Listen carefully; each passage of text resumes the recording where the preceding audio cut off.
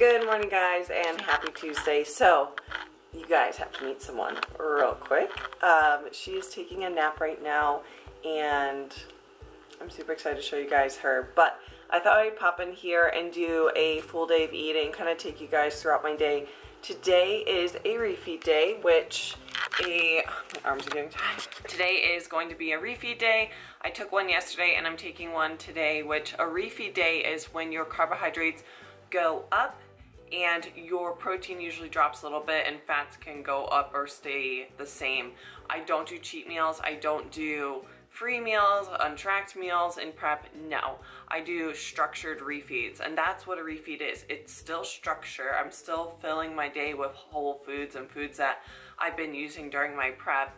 Um, it's just a little bit more. And this prevents my metabolism from adapting to a lower level. It also can just keep you motivated to work for a refeed.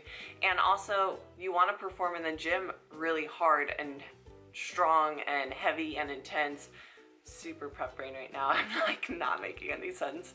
Um, but you want to have that intensity in the gym and you can't have intensity in the gym if you're chronically dieting and never filling up your glycogen stores. And glycogen is your muscles. Um, if they're always flat and depleted, you're not going to be able to get a good pump and a, get a good workout and recovery is going to be not as good, energy's not going to be as good. There's just so many benefits to doing a refeed.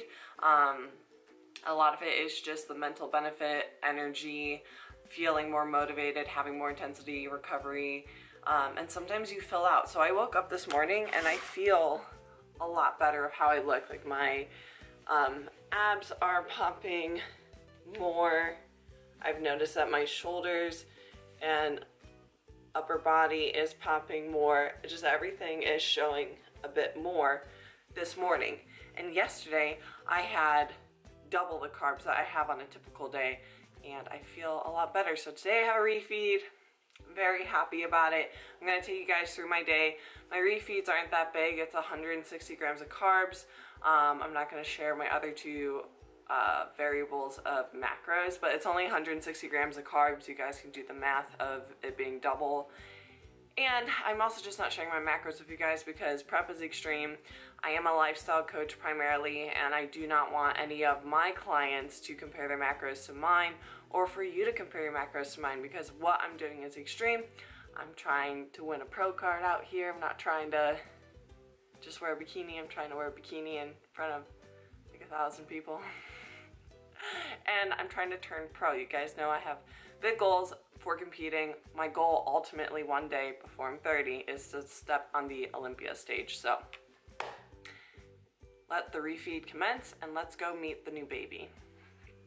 So we are mixing up my pre-workout cocktail of the day. I have a Bowmar Nutrition shaker here, and then I'm doing some guava BCAAs.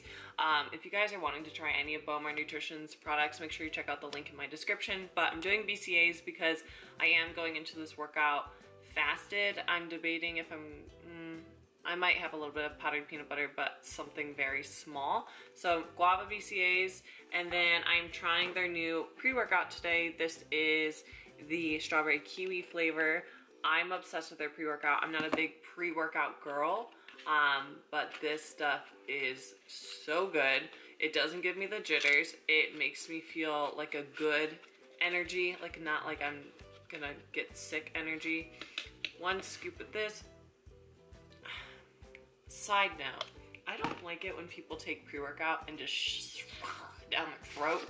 I don't know why it bothers me. And just, just drink it, you know? Okay, we're doing one scoop of BCAAs.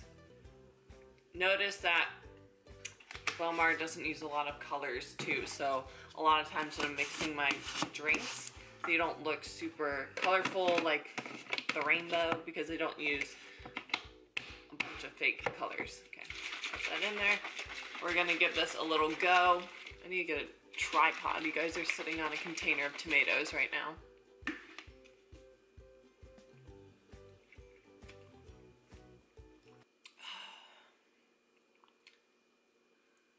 So nice. No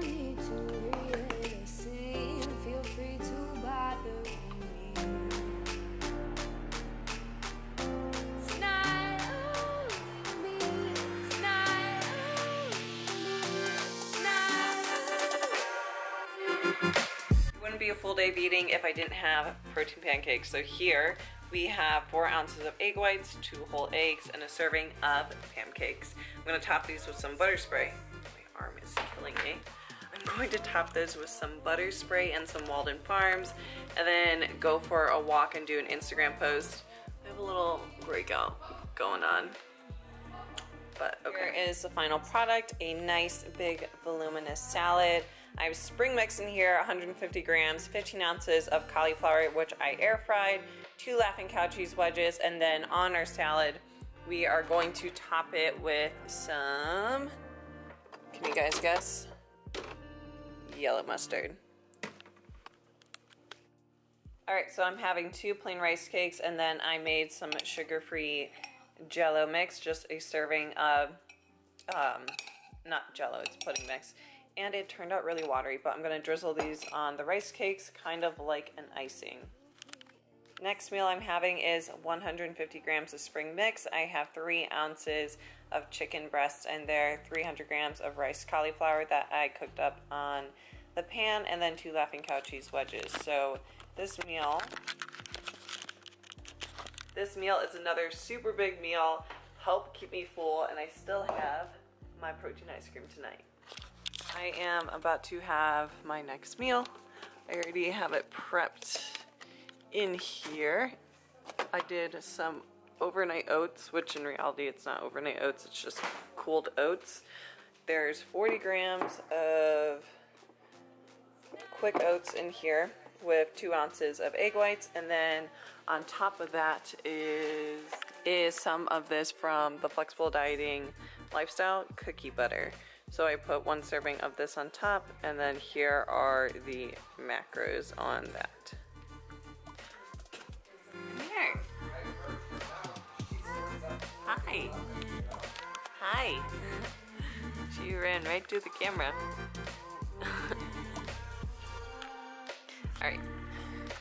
Last meal of the day is some protein ice cream, and then I topped it with two caramel rice cakes. So Again, very big in volume. When you only have roughly 1600 calories to eat for the day, this hits the spot.